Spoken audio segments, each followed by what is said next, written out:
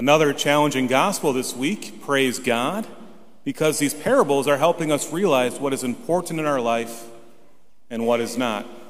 So today, let's take a deep dive into this parable and see what it all says, kind of more of an exegesis on it this week. First off, we know that Jesus is speaking to the Pharisees. There is a rich man, and oh my, how he was rich. How do we know this? Because he dressed in purple garments and fine linen and dined sumptuously each day. Purple garments would have been the most expensive ones out there because the dye was the most expensive. And so the wealthy would be wearing these to show off, look how wealthy I am. So we have that. We have the fine linen. Then that he dined sumptuously each day. Not just every once in a while, not just like when there's a big feast, but every day he was dining sumptuously. He was living this life of luxury. And lying at his door. Now, another interpretation of this would be lying at his gate. So he was living in a gated community. We can tell that he was rich. This man had a house and it was gated, and lying there was a poor man named Lazarus covered with sores.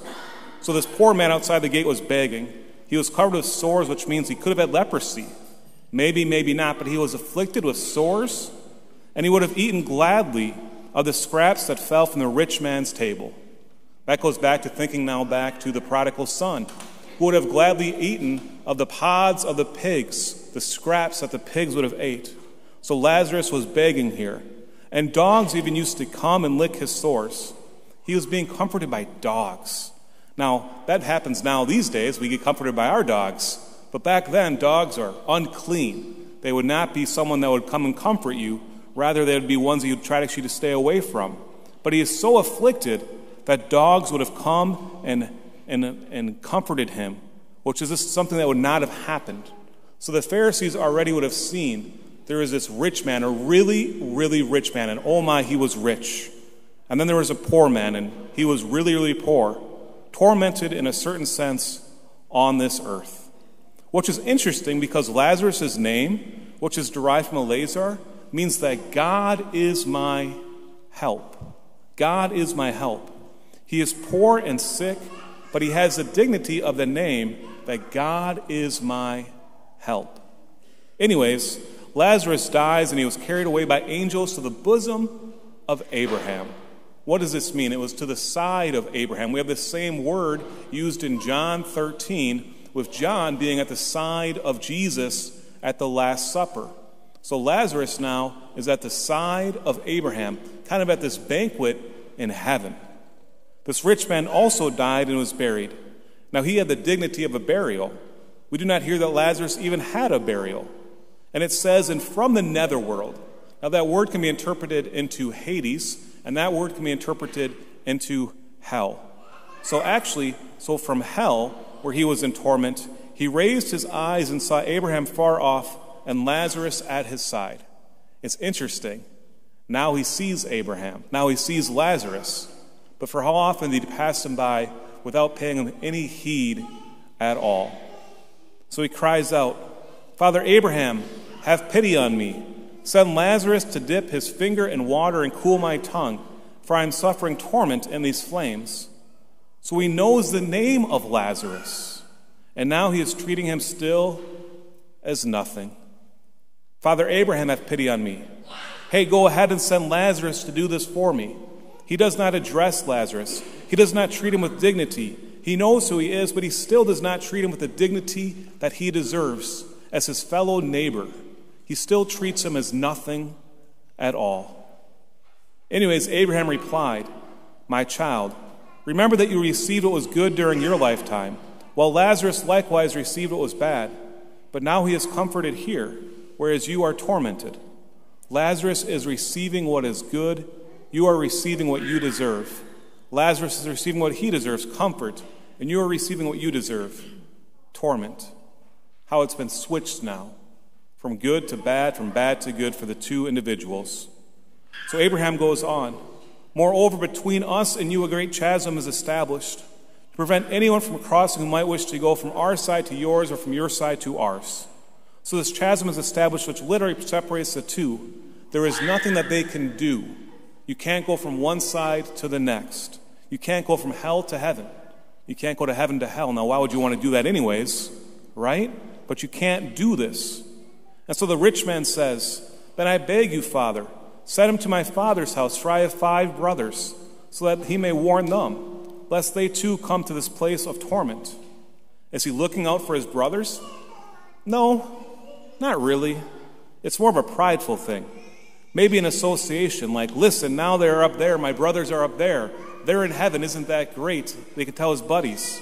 But he's not actually caring for them, it's more of a prideful thing for himself.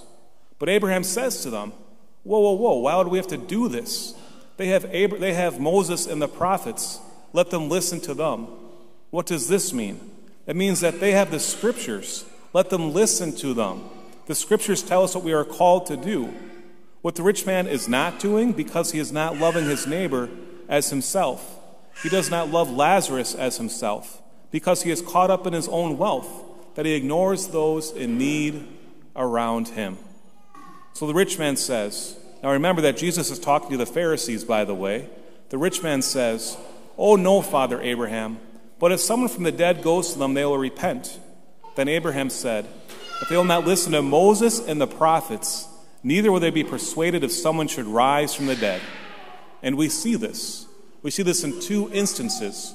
First off, in John's Gospel, with the account of Lazarus being raised from the dead, how he is sick and dead, and Jesus raises him up, and what happens? The Pharisees seek to put Lazarus and Jesus to death because he rose Lazarus from the dead. And then, of course, after Jesus' death and resurrection, the apostles go out and they're preaching the resurrection of Christ. And what are they doing? They're being persecuted by the Jewish leaders after preaching this message of the resurrection. So we see that the Pharisees are not going to listen. Their hearts have been hardened. Now, the message Jesus had for the lovers of money was simple Don't let money blind you to those in need. Use your gift of wealth to love God with all your heart and your neighbor as yourself. This is what the rich man did not do. It was the sin of omission. We do not hear that he committed adultery or that he murdered. We don't hear that he did any of these things, and that is why he is in hell. No, it's because he is loving money, and because he has this false God, you could say, and also because he is not loving his neighbor as himself. It's this great sin of omission. He's only caught up in his own self, his own wealth. He is being selfish instead of being selfless. And he's not loving his neighbor as himself. This is the great sin. We know the two great commandments love the Lord your God with all your heart, with all your soul, and all your mind, and love your neighbor as yourself. And he is forgetting to do the one where it's loving your neighbor as yourself. Not forgetting, by the way, he's just choosing not to do it. Because every single day he encounters Lazarus, Lazarus outside of his gate, begging for the scraps from the food from his table, and he continues to ignore him. Do we do this in our own life? Are we choosing our own good compared to the good of God? What do we choose in this life? What we choose in this life, we receive in the next, by the way. If we choose ourselves, we only get ourselves. And that is all this rich man has left. He only has himself left, and himself being in torment. If we choose to let God be our help, as Lazarus' name means, then we get him.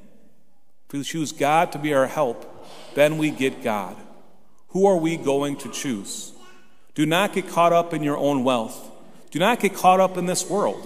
Instead, use the gifts that God has given us to help out others, to be generous with the poor, to seek out those in need, to love our neighbor as ourselves.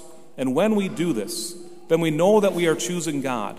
And with that, we are able to receive God eternally.